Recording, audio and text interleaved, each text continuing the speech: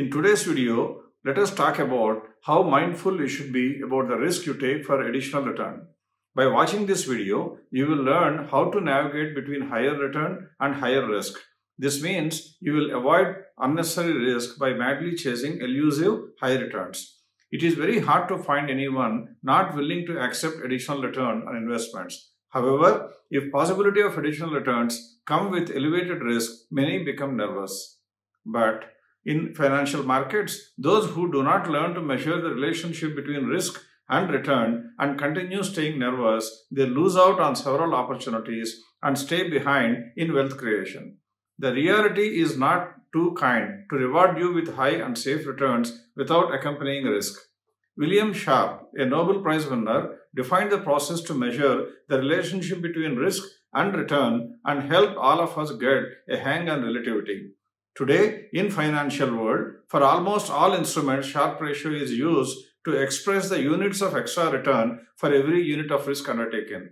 For a given time frame, if the value derived is more than 1, it is deemed healthy. In fact, higher the value, higher is the safety. For this, we assume the easily available and much less complicated instrument as basis and call it risk-free return. For debt instruments, one takes government securities or G-Sec rate as risk-free return. For equities, it is generally the index like Nifty or Sensex.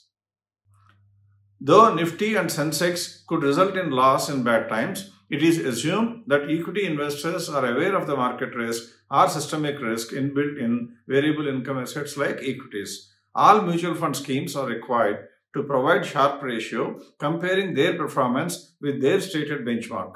They may have taken NSE 500 or midcap or Nifty as benchmark.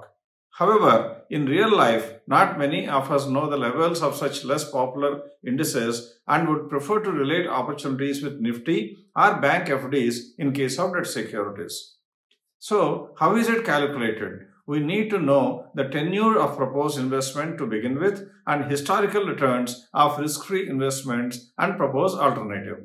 Let us now take an example and understand how Sharpe ratio is calculated. For four-year time period of a mutual fund comparing with index. For example, every four-year time period like 1st January 2010 to 31st December 2013. Like this, there are several four-year time periods have been considered and the mutual fund returns for those periods and the index returns are also captured and the difference is also calculated. Once we do all these calculations for all the time periods that are possible, then we average the mutual fund return which has come as 9.87 and we average the index return which has come as 2.88 and finally the difference between these two mutual fund and index return also is measured and the volatility of that please understand it is not the average Volatility of the difference using standard deviation formula is calculated. That has come as 6.82. Once you have all these values, you use the formula of average return of the mutual fund minus average return of the index divided by the volatility of the returns difference. That means divided by 6.82 this has given a Sharpe ratio of 1.03 if the calculated Sharpe ratio is less than 1, it means there is more risk of you ending up with lesser than benchmark or index in this case from your investments. If it is equal or very close to 1, you are very likely to be ahead over index return for most periods. If it is more than 1, you are very likely to get significantly more returns than index. Higher the value, better are your chances to earn higher income. Now, let us see how a very popular mutual fund scheme Sharpe ratios had been over 3, 5 and 10 year time frames. Now, if you can see from 3 year column, you will understand that not even one of the mutual fund schemes has a Sharpe ratio of more than 1, which implies none of these schemes were guaranteed to generate a return that is higher than their own benchmark. And when you look at the five years, still the case is same. Not even one mutual fund has made one.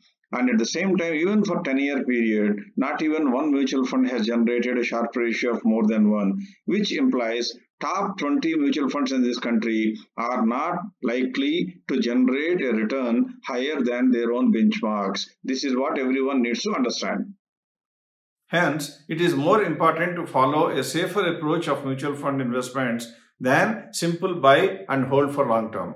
You may refer to the video Pick Top Mutual Funds anytime and every time from our channel sometime in the past which showcased the process and returns. You may take time to check the past performance of longer time frames yourself at any time. The Sharpe ratios of Vivekam's mutual fund rebalance process for 3 years, 5 years and 10 years. As you can see from the table, the highest value given by the schemes, any of the schemes for 3 year period was 0.6 whereas Vivekam has generated a 0.65 value of Sharpe ratio and for 5 year period Mirae Asset Emerging Mutual Fund has generated 0.78 Sharpe ratio whereas Vivekam's process has delivered 1.66 Sharpe ratio and for 10 year period again Mirae Asset has generated 0.81 whereas Vivekam's process has generated a Sharpe ratio of 4.47. This clearly implies the possibility of getting a return higher than index is very very high with Vivekam's process as compared to any other scheme in the country that exists as of today. While these ratios conclusively prove that it is safer to go with this approach than conventional buy and hold, all the viewers are humbly requested to contact our team on the numbers given at the end of this video and check us as many times as needed. Ask us any number of doubts you may have. Write to us as many times as needed. But please realize that you alone are responsible for your wealth creation. If you like the content in this video and feel it is useful, please share and recommend our videos to your friends investing in equities or mutual funds. Do you really need any more proofs to decide what is the best course of action for your mutual fund investments in order to earn more and more and be safe? We wish you good fortune in whatever you do in your investment journey. Thank you.